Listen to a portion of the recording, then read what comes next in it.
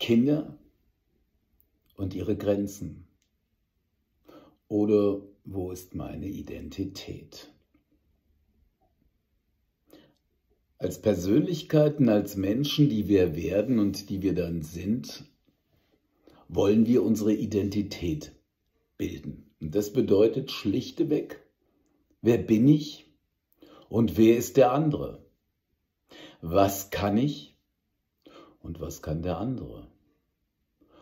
Wo sind meine Grenzen und wo sind die Grenzen der anderen?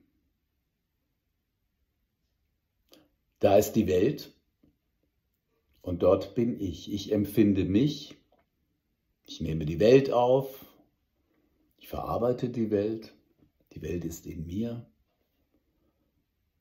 und ich bin in der Welt.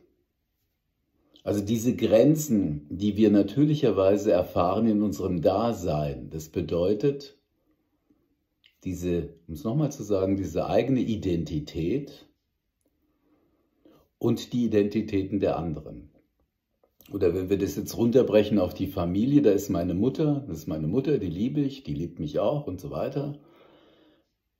Und meine Mutter will aber etwas von mir, und ich möchte etwas von meiner Mutter. Wir könnten es auch sagen, es sind Bedürfnisse, die wir als Menschen teilen, machen, wo wir Kompromisse finden, wenn wir miteinander umgehen. Das heißt, der eine hat ein Bedürfnis und ich habe ein Bedürfnis. Und so messen wir uns. Das heißt, wir wollen uns immer wieder, wenn wir es krass formulieren, durchsetzen oder behaupten oder etwas dazu beitragen.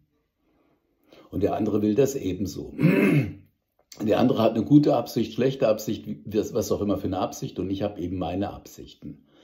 Und das sind so typische Grenzbereiche, in denen wir unser, unsere Identität erfahren.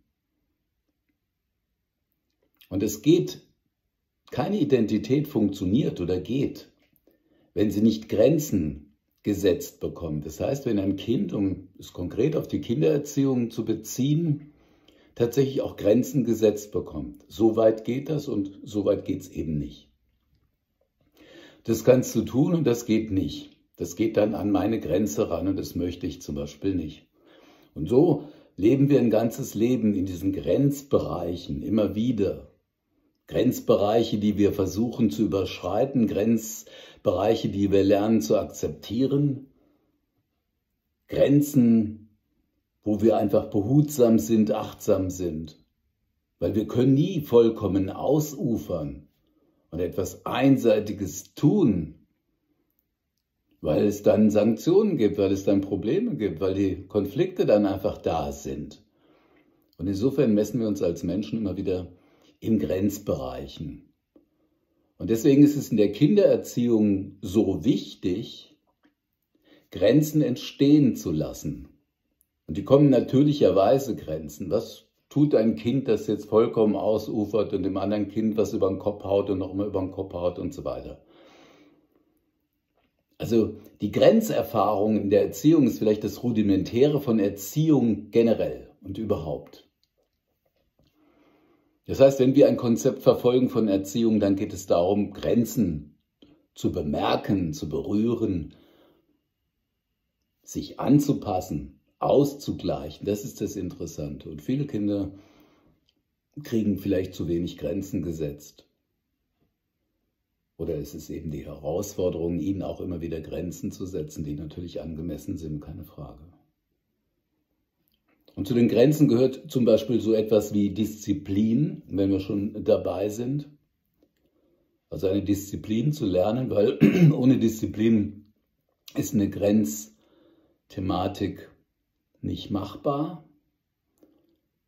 Und diese Dinge sind so außerordentlich wie zum Beispiel auch das Thema, auch das ist ein Grenzthema, zur Ruhe kommen oder nicht tun oder nicht ständig abgefüllt und überfüllt zu werden, übersättigt zu werden, alles abgenommen zu bekommen, sondern man verlangt etwas oder du verlangst etwas von deinem Kind und dein Kind verlangt etwas von dir und so findet ein Austausch statt. Aber was dann noch sehr wichtig ist, ist eben zur Ruhe kommen.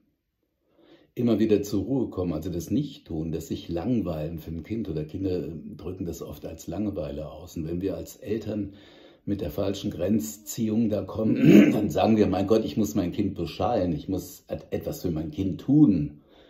Ich muss ein Content liefern, so wie wir hier ein Content liefern. Das ist es natürlich nicht, sondern es gilt, sich auch zu langweilen, nicht zu tun, still zu sein, still, still zu sein, auch ganz oft.